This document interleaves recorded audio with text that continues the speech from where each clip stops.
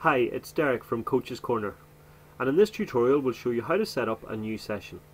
After clicking My Sessions and Add New Session you will be brought to our user-friendly software.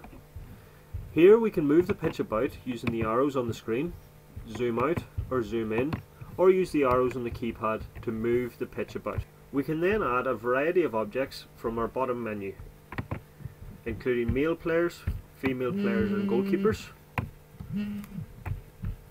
Equipment, and simple markers to show passes, movement or text to clearly identify a drill.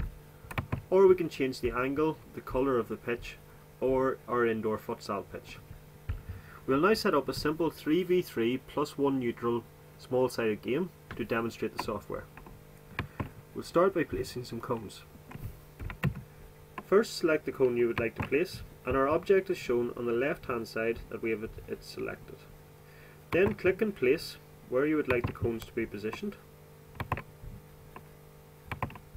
Or an alternative method is to click once and drag to create a straight line of cones. And we complete our grid and we're ready to add some players. So we'll have one team in red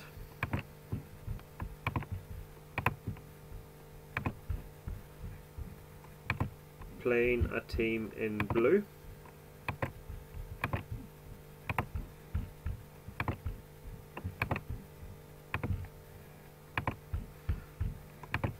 and our neutral player in yellow.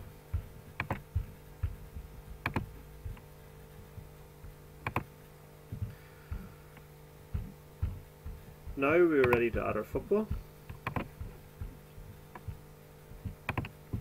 And we can place spare footballs around the grid. Lines to show simple passes.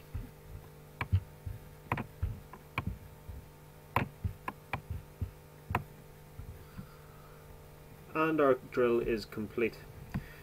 Under the description tab we can place some information so it's easily filtered for future reference.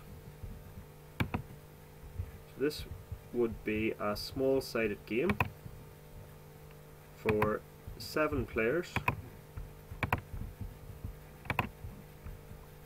aged anywhere from 12 to 18 years old. It takes roughly 10 minutes and it needs a 20 by 20 grid. Here we can add some description of the activity, our key coaching points and potential progressions.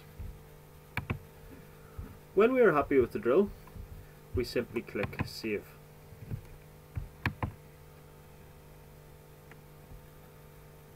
And the session planner will save our work. We'll then be brought to our session area. In our session area we have the uh, option of extending our session plan. If for example we want to continue from the last drill but add a small differentiation we can simply click copy activity and the default is to copy towards this session or we can copy it to a previously created session.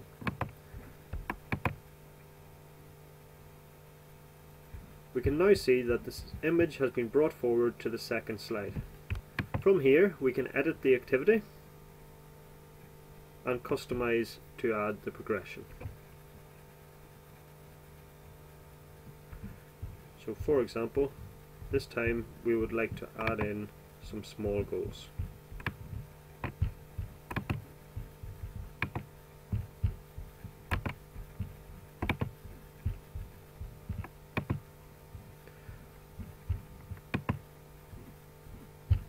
Again we can change the description.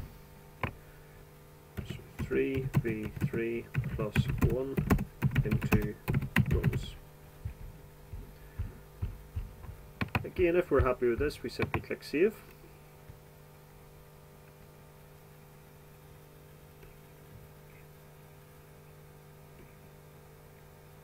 And our session is complete. If we want to give the session a title we can simply choose the title we would like to name it.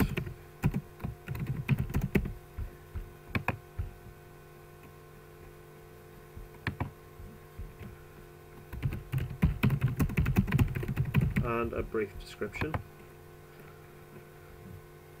In this area we can choose to share so we can share privately so no one else can see it with teams that I'm a part of or with the public in our session library.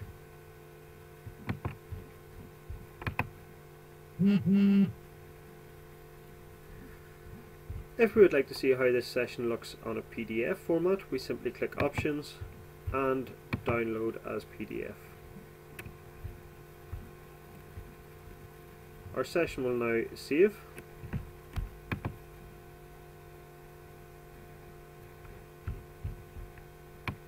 And our first page is a general overview of the sessions and then our following pages will give us more detail on the drill we have created. Thank you.